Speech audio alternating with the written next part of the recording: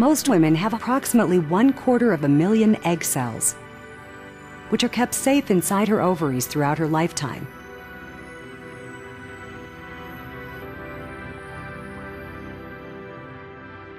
Midway through a woman's menstrual cycle, a single egg is released from a fluid filled sac called a follicle.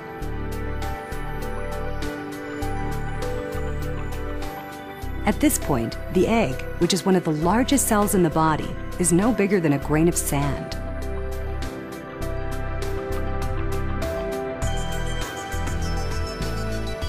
A single sperm must fertilize the egg within 24 hours, or it will be absorbed and the woman's cycle will begin again.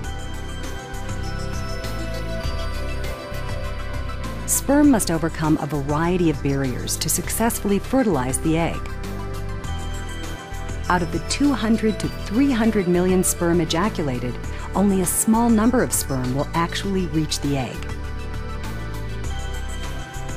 25% of the sperm die almost immediately upon contact with the acidic environment of the woman's vagina. This acidic environment protects the woman from infection and bacteria. The sperm's only purpose is to fertilize an egg. They instinctively swim against the downward current of the fallopian tubes toward the egg. One sperm can fertilize the egg, after which a biochemical reaction helps prevent any other sperm from getting inside. Once inside, the sperm loses its tail and contributes 23 of the 46 chromosomes necessary for human life.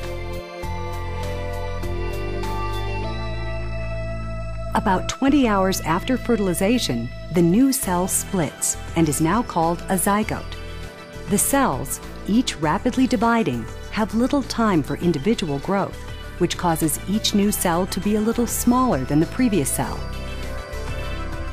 As the cluster of cells continues to divide, it becomes a hollow ball of fluid filled cells, now called a blastocyst.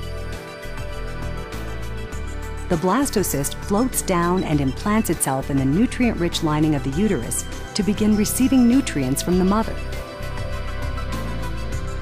By two weeks, the blastocyst has grown to one tenth of an inch in length. The spine is developing, and the chambers of the heart are beginning to form. Soon, the heart will begin to beat.